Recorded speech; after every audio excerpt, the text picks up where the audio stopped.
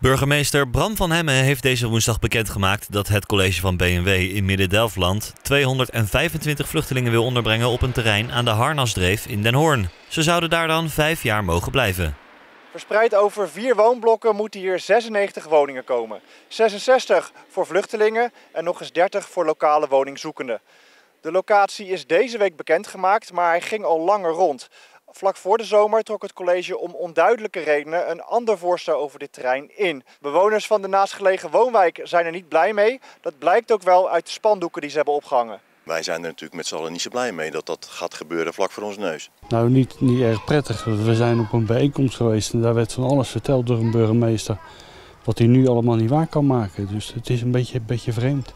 En ik snap dat ze opgevangen moeten worden, maar ik vind ten eerste de locatie niet prettig. En ten tweede zoveel mensen op één plek. Ja, dat vindt de hele buurt natuurlijk niet prettig. Ik vind het wel heel vervelend. Ik bedoel, we hebben twee jaar geleden natuurlijk hier een appartement gekocht. En uh, niet met voorwaarden dat er een AZC uh, zou komen. Nee. Dat vinden wij natuurlijk wel heel vervelend.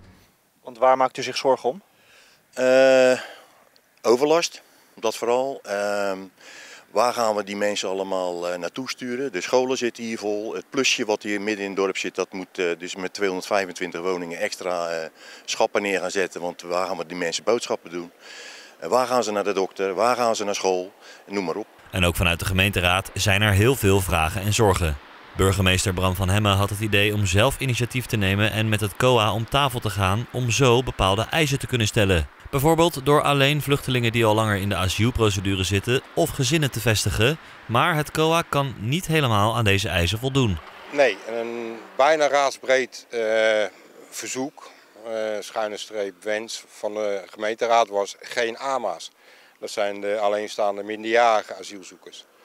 Uh, nou, daar is ook niet aan voldaan, want er wordt nu al aangegeven, nou ja, er zullen er 25 worden geplaatst.